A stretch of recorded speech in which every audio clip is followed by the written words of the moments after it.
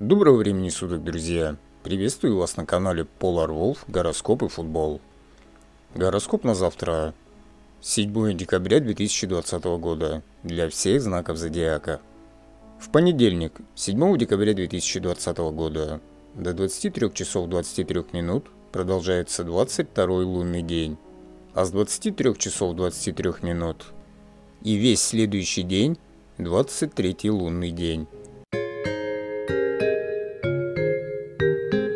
23 лунный день. Очередной тяжелый день, характеризующийся нестабильной энергетикой, вследствие чего дню свойственны проявления агрессии, насилия, разрушения, необратимых перемен. Это очень энергозатратный день, и неправильное распределение собственных сил, переоценка собственных возможностей может привести к опустошению. Рекомендуется в этот день максимально настроить свое внимание и осознанность. Началась четвертая, последняя фаза лунного месяца. Впереди дни Гекаты, тяжелые, неприятные дни – уже сегодня вы можете почувствовать, как в вас зарождается страх. Предметы падают из рук, организм ослаблен. Возникает апатия и нежелание действовать. Это нормально, не вините себя. Вам просто не хватает энергии, ведь Луна постепенно убывает. Нехватка энергии заставляет человека добывать ее из других людей. Сегодня на вас могут оказать моральное давление. Не поддавайтесь на провокации и прогоняйте желание мстить. Сегодня вами может овладеть соблазн ввязаться в авантюру, поссориться с людьми. Окружающие взвинчены, атмосфера накаляется. Так просто ввязаться в конфликт или стать его причиной. Старайтесь подавлять в себе любые негативные эмоции. Оградите себя от людей на сегодняшний день. Будьте внимательны и осторожны. Посвятите день домашним заботам. Находиться на общественных мероприятиях и в людных местах в этот день не рекомендуется. Толпа сегодня непредсказуема. Прощайте людей, и они простят вас. Избегайте возбужденной, расфилипевшей толпы. В этот день нельзя растрачивать энергию впустую, ведь ее становится все меньше, а впереди не один трудный день.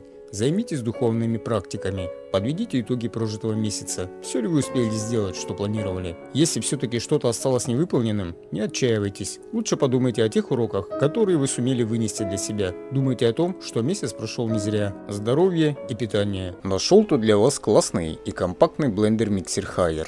Легкий и простой в использовании, безопасный и продуманный дизайн, мощность 120 Вт. С завтрашнего дня начинается распродажа. Продавец скинул купончики, а с промокодом можно еще больше скинуть ценник. Цена в распродажу с купоном продавца и промокодом составит 1729 рублей. Ссылка в описании. Практикуйте воздержание в еде. Убойную пищу сегодня есть не рекомендуется. Включите в рацион побольше молочных продуктов. Ешьте творог, сыр, можно печь ватрушки с творогом. В этот день может возникнуть тяга к обжорству, но ее необходимо преодолеть. Нагружать желудок сегодня категорически не рекомендуется. В этот день следует уделить особое внимание здоровью. Иммунитет человека ослаблен, поэтому есть риск заболеть. Не рекомендуются никакие хирургические операции. Разумеется, кроме жизненно необходимых. Мне нежелательно стричь волосы и ногти. Самая уязвимая часть тела сегодня – это позвоночник. Выделите время для его укрепления. Вообще любые оздоровительные процедуры сегодня благоприятны. Возрастает риск подхватить половую инфекцию. От секса в этот день лучше воздержаться. День травмоопасен, поэтому не делайте резких движений. Избегайте нагрузок на позвоночник. Не поднимайте и не переносите тяжелые вещи. Следите внимательно за своим здоровьем. Возникшие сегодня болезни могут быть опасны и непредсказуемы, поэтому при первых же симптомах обращайтесь к врачу. Любовь и отношения. Сегодня любой обмен мыслями, невинный разговор грозит обернуться крупной ссорой. Люди взвинчены, они ищут слова скрытый смысл. Они одержимы завистью, ревностью, обидой. Лучше излагать вещи прямо, без намеков, иначе вас могут неправильно понять. Лучше всего, если ваш образ жизни такое позволяет, вообще не общаться с людьми сегодня. Если же контакт неизбежен, будьте терпимы, не срывайтесь. Заключать брак в этот день крайне не рекомендуется. Также следует воздержаться от интимной близости. Секс в этот день слишком истощает. Кроме того, обостряются половые заболевания. Также нежелательно зачатие ребенка. Он может родиться с физическими или психическими отклонениями. Работа и творчество. Один из самых худших дней для бизнесменов. Не начинайте ничего нового. Лучше доведите до конца то, что когда-то запланировали. К решению вопросов подходите серьезно. Взвешивайте и обдумывайте доводы. Переговоры лучше отложить. Они могут только породить новые проблемы. Заниматься финансами можно, если это не крупное дело.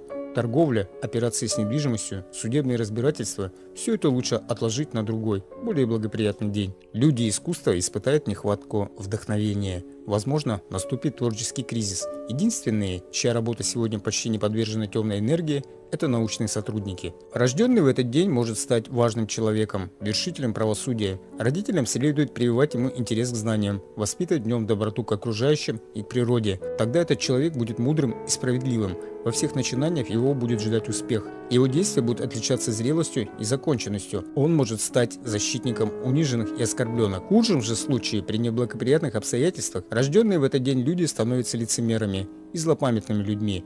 Они могут стать законченными негодяями, способными сначала расположить к себе человека, а затем, как говорят, воткнуть нож в спину.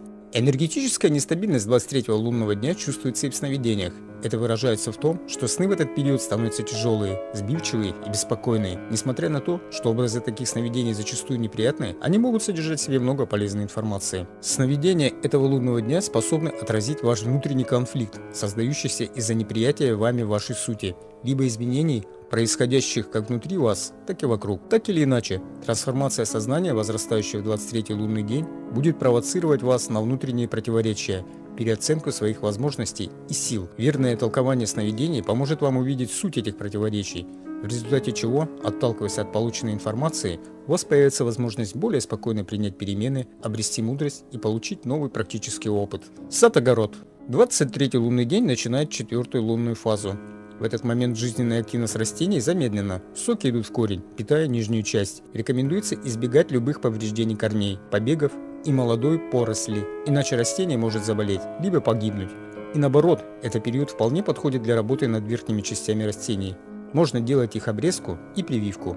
Во время убывания Луны рекомендуют садить и собирать плоды, находящиеся в земле. К ним относятся все корнеплоды, которые питательны и полезны в связи с тем, что в этот период растения активно набирают полезные элементы в корнях. В этот период также проводят обрезку клубничных усов, выкапывают луковицы цветов. Хорошо прореживать сходы, выкапывать сорняки, бороться с вредителями. Также можно удобрять почву и подкармливать растения. Не рекомендуется в этот период обильный полив.